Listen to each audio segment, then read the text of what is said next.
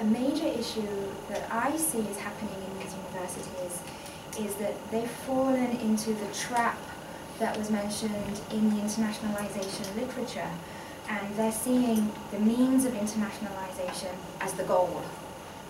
In other words, right now universities seem to be fulfilling the brief that uh, MEXT has set out for them, where they are offering enough courses in English. Students can graduate for, you know, taking classes for four years entirely in English, but it's kind of as far as it goes. Um, the courses that the students can take are oftentimes kind of ad hoc. Like the core courses, perhaps they've been carefully thought out and um, taught by um, you know professors that realise the point of the program and what they're teaching. But then the elective courses are often taught by faculty members who merely volunteered to teach a course because they want to practice their own English, they want to get the benefits from teaching an international course, or there's not that many people in the university that feel comfortable enough teaching English. Or if they didn't volunteer themselves, the elective courses are often taught by uh, faculty members who were volunteered by their superiors. Um, I heard that quite a bit in my interviews for my PhD. And so the result of that is there's a students can take all of their courses in English, but they're not really taking a coherent program. Um, and they don't have the opportunity to really specialize in the topics that interests them. Uh, for example, they're taking classes on the Japanese economy and flower arranging. And it's like, hmm, how does that fit together? Um, so there seems to me to be a lack of focus on the program outcomes the goal is still being to create a program entirely in English rather than nurturing the students and you know preparing them for global workplace.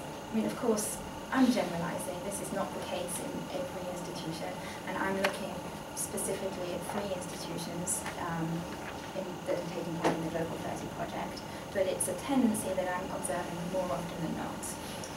And um, administrators and faculty members who are involved in implementing these programs, or at least the ones who were involved in initially designing the programs, um, they hope that the English taught programs at their universities will catalyse a change across the wider university. However, not much is being done to actually achieve that. Um, a recurring complaint from international students enrolled in those English taught programs is that they don't have much opportunity for interaction with the Japanese students. They can take classes with the domestic students, they're all in there together, but you've got the international students usually sitting at the front of the classroom, the Japanese students sitting at the back. Again, generalization, but I've heard it from more than one person. And, and um, the Japanese students are having tendencies to view the international students as short-term exchange students.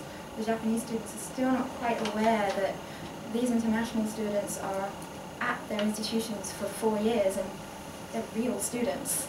Um, sort of um, universities are just sort of hoping that the internationalization will just happen, magically happen, because of the presence of international students on campus.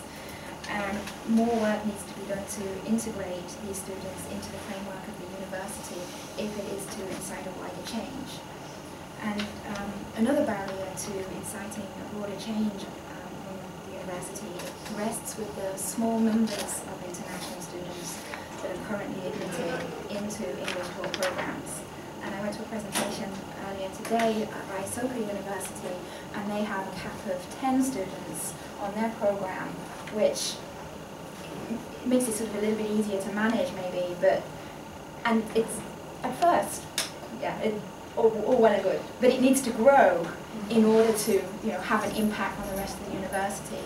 And I've noticed, I think it's a tendency at um, national universities more so than private universities to have this kind of cap.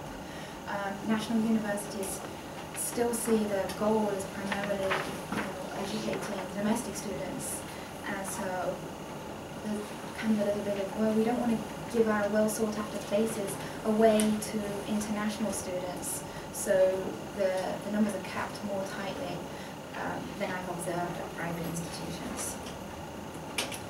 Um, I'm wor I worry that we're seeing similar tendencies in other internationalization programs at Japanese universities too.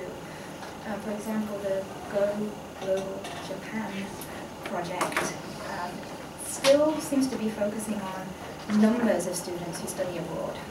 And I realize that is a first step. First of all, we do have to encourage our students to go overseas. But at the same time, we need to be encouraging our, our departments to think about what are we doing with these students once they have been overseas. Things still seem to be a little bit separate. Um, this morning in the presentation about um, English medium instruction, we had the lack of communication and the very sort of um, siloed uh, position of different departments at universities. And so students are, they're going abroad, and that's it, they've been abroad now, yeah, they're international. Now they're coming back and taking just the regular class, and nobody's doing anything with those skills that the students are learning.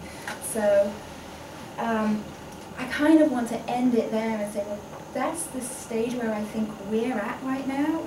These projects have been running for a few years, and I think it's time that universities sort of stopped, took stock of what they've achieved so far in terms of implementing new programs, encouraging students to study abroad. And now they should think about why are we implementing these programs? What are the outcomes, and skills that we want our students to have? And how are we going to make sure that you know, when students participate in these programs, they are going to you know, actually gain skills and use these skills? So, thank you very much. Thank you.